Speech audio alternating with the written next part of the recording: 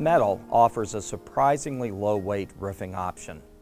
Aluminum weighs about a half pound per square foot, while steel weighs around a pound depending upon the exact product. This compares to 3 to 4 pounds for asphalt shingles and as much as 15 to 20 pounds for tile roofing. Lower weight roofing materials make sense because they mean less natural resources are being used in their production. Low weight roofing can also mean the new roof can often easily be installed over the old roof. In over 30 years, we have yet to go back on a job where a metal roof was installed over the old shingles and wish that the old roof had been removed. In fact, a metal roof may be adding less weight than the previous layer of roofing has lost in terms of granules that have washed away and oil content that has just evaporated.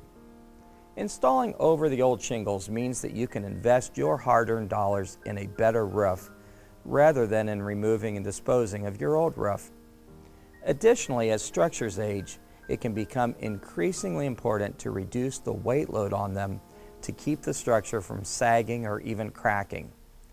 Low weight can also be a real plus in the event of seismic activity, keeping homes more stable and secure.